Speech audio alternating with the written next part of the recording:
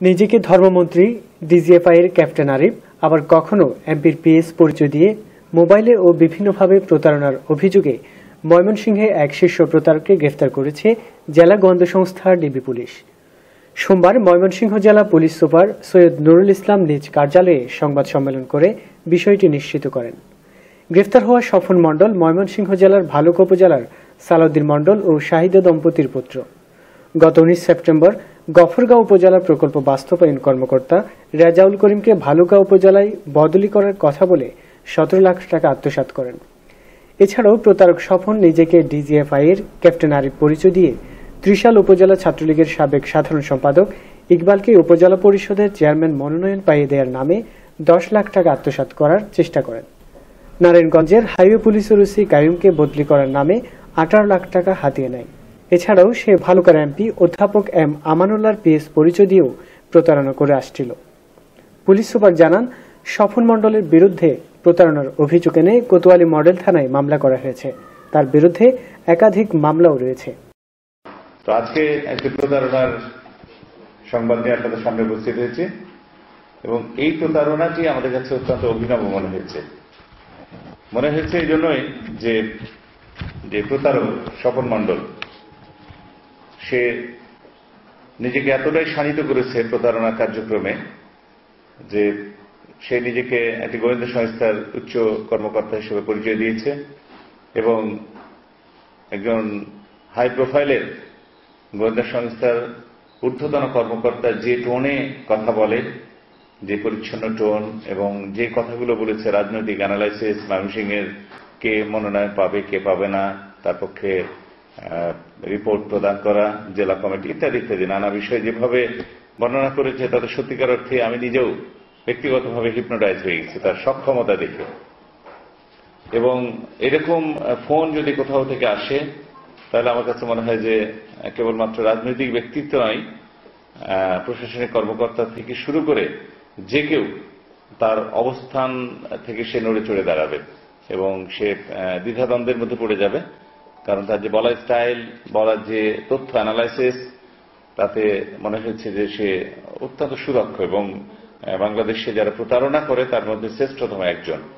এর পাশাপাশি তার একটা অনন্য সাধারণ গুণ, সেটি হচ্ছে যে কোনো কণ্ঠ সে নকল করতে পারে। যে কোনো কণ্ঠ সে নকল করতে পারে। আমরা দেখেছি যে সে খুবই একেবারে নিম্ন মানের শিক্ষিত ম্যাট্রিক পাশ করে নেই ইন্টারমিডিয়েট পাশ করে নেই। অথচ সে আঞ্চলিক ভাষায় কথা বলে, কিন্তু যখন সে গোয়েন্দা সংস্থার ঊর্ধ্বতন কর্মকর্তা হিসেবে পরিচয় দিচ্ছে, তখন ঠিক ওই সংস্থার ঊর্ধ্বতন কর্মকর্তারা যে টোনে কথা বলে, কমন তাদের যে টোন আছে, যে পরিচ্ছন্ন ল্যাঙ্গুয়েজ, সেটি ব্যবহার করেছে। অ্যাট দ্য সেম টাইম মাননীয় ধর্মমন্ত্রী মহোদয়ের নামে যখন সে কথা বলেছে, তখন ধর্মমন্ত্রী মহোদয়ের টোন হুবহু এবং ধর্মমন্ত্রী মহোদয় যে সকল জায়গাগুলোতে পজ দেন, যে টোনগুলো যেভাবে কথা বলেন ঠিক প্রত্যেকটা জায়গায় আমার কাছে মনে হয় প্রায় শতভাগই সে নকল করে ফেলেছে। তো এইরকম একটি সক্ষমতা সম্পন্ন প্রতারক, সে দীর্ঘকাল ধরে এই প্রতারণার কাজটি করে আসছে এবং সুনির্বনভাবেই করে আসছে। তো সর্বশেষ এটি আমাদের নেটে ধরা পড়েছে। আমরা খবর পেয়েছি গত পরশু দিন খবর পেলাম যে ভালুকা অঞ্চলের একজন ব্যবসায়ীকে, ধনাঢ্য একজন ব্যবসায়ীকে সে প্রতারণার ফাঁদে ফেলেছে। এবং তার কাছ থেকে দশ লক্ষ টাকা হাতিয়ে নিচ্ছে। ঠিক টাকাটা হ্যান্ড ওভার করবে, এরকম সময় আমাদের কাছে তথ্য আসলো। এবং মূলত তার কাছ থেকে যে টাকাটা দিবে, তার কাছ থেকেই তথ্য আসলো সঠিকতা নিরূপণের জন্য। তা আমরা তার তথ্য প্রযুক্তির মাধ্যমে আমরা খোঁজ নিয়ে দেখলাম যে আসলে প্রকৃত অর্থে ধর্মমন্ত্রী মহোদয় তার সঙ্গে কথা বলেনি, বলেননি। এবং তার সঙ্গে যে গোয়েন্দা সংস্থার পরিচয় দিয়ে সে কথা বলেছে সেই প্রকৃতপক্ষে গোয়েন্দা সংস্থার সদস্যও না। পুরো বিষয়টা ফেক এবং এটা একটি প্রতারণা। তারপরে তার পিছু নিলাম। বেশ অনেক ঘণ্টা আমাদের বিরতিহীন কর্ম পরিচালনার পরে আমাদের সুদক্ষ যে এলআইসি ডিপার্টমেন্ট এবং ডিবির চৌকুশ গোয়েন্দা কর্মকর্তারা, তারা এই প্রতারককে ধরে ফেলে।